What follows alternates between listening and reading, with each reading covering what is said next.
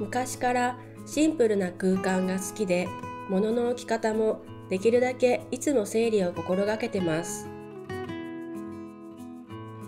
見た目をきれいにするっていうのもあるんですが片付けて家族に「あれってどこにある?」って聞かれるのもストレスなので見るだけでわかる収納を考えるようになりました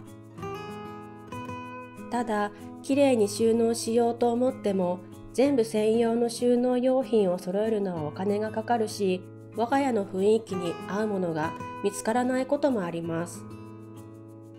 だったら自分で作っちゃえって思って普通なら捨ててしまうようなものも使えそうならリメイクして収納に生かしています。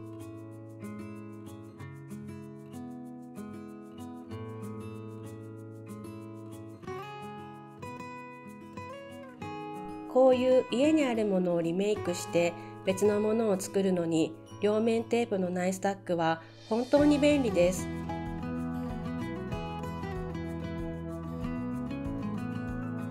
接着剤だと中で固まったり手が汚れたりするし少し使い勝手が気になることもあるんですよね。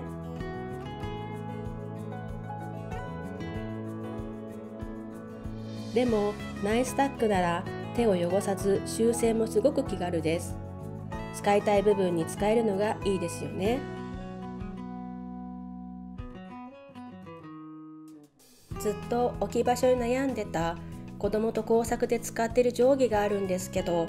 ちょうどいい収納方法がありませんでした。そんな時たまたまお菓子の箱がジャストフィットすることに気づいてナイスタックでリビング収納のドア裏に貼ったらすっきり片付きました。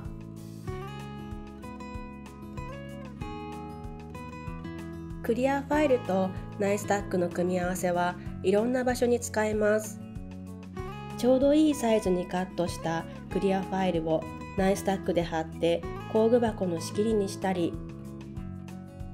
タンスの引き出しにもクリアファイルで作った仕切りを貼って置いています。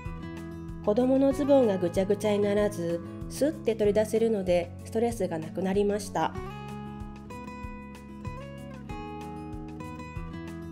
見やすい収納にすると子供たちが自分で進んで片付けを手伝ってくれるので嬉しいですね子供が使う色鉛筆を収納するための仕切りは牛乳パックで作りました。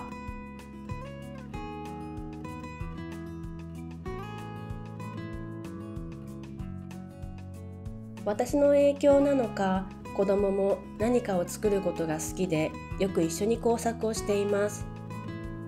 一緒に作って楽しいねとか綺麗だねとか言ってくれると嬉しいです。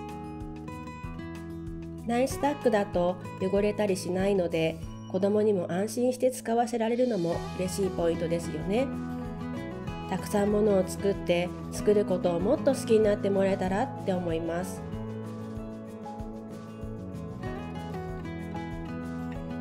暮らしの中で使うものを自分で作るっていうのは私にとって欠かせないことで誰でも何かしらあると思います。